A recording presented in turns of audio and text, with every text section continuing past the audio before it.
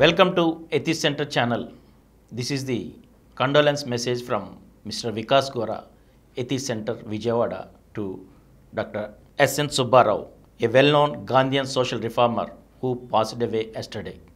Dr. S.N. Subbarao, a well-known Gandhian social reformer, youth empowerment activist, peace builder, national builder, and the founder of National Youth Project is no more. He was a close associate of Gora and Saraswati Gora and our entire family for over 75 years.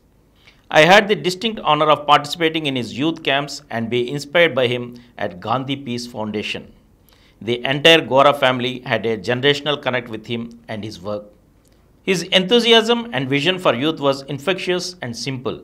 He was always surrounded by youthful energy and his call for unity, Jai Jagat, which was the clarion call of Vinoba Bhave, attracted thousands of youth. Dr. S. N. Subbarao, popularly known as Bhaiji, started social work from his student days before India's independence. His association with Mahatma Gandhiji began with wearing khadi and later on he played a key role in various Gandhian constructive programs. Late Prime Minister Pandit Jawaharlal Nehru nominated him as the secretary of the Mass Contact Committee of the National Committee for the Gandhi Centenary celebrations. He conceived the idea of Gandhi Darshan train and under his direction the train traveled successfully all over the country in 1968-69. He joined the Gandhi Peace Foundation as its life member and conducted a chain of youth camps in the Chambal Valley. Thousands of youth from all over India took part in these camps.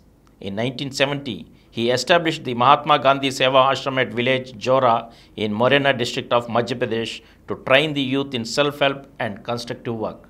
Along with other peace workers, Bhaiji worked hard to bring about the historic surrender and rehabilitation of more than 600 dreaded dacoits of Chambal Ghati. In 1976, with the efforts of Bhaiji in Bateshwar, Uttar Pradesh and Talab Shahi, Rajasthan, dacoits surrendered in large numbers. This also led to my uncle and aunt, Lavanam and Hemlata, continuing the reformation work in the Chambal Valley and Stuartpuram, Andhra Pradesh. Many developmental works were carried out during 1976 to 80 in the Chambal Valley and 34 National Unity Youth Camps were organized. More than 15,000 men and women participated. To mobilize the youth, Dr. S. N. Subbarao founded the National Youth Project in 1971, under which hundreds of national level youth camps and other programs were organized in different parts of India, including Nagaland, Manipur, Meghalaya, Tripura, Arunachal Pradesh, Sikkim, Ladakh, Lakshadweep, and Andaman, and other communal hit locations to promote harmony and peace. Bhaiji could speak and sing in all the 18 languages recognized under our constitution.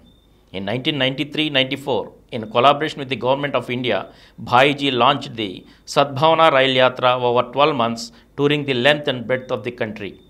Hundreds of youth did cycle yatra and visited our home in Vijayawada for a youth conference. His work is a testament for nation building and investing in youth as harbingers of change. His methods of youth empowerment through camps, peace marches, interfaith dialogues, Sadbhavana Yatras, addressing issues of local concern are unique and will surely help in creating a better world and a better future.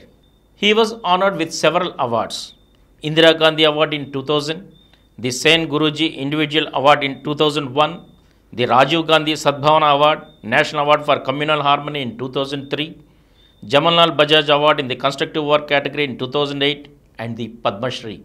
He will be remembered for transforming lives of scores of youth and as a visionary par excellence who stood for national integration and world peace. And once again, Atheist Center conveys the condolences to the family members of Dr. S. N. Subbarao.